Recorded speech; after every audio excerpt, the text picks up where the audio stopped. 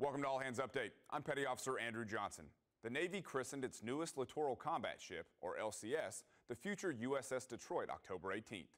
The ship is designated as LCS 7 and is named in honor of the city's deep ties to the U.S. Navy and the shipbuilding industry.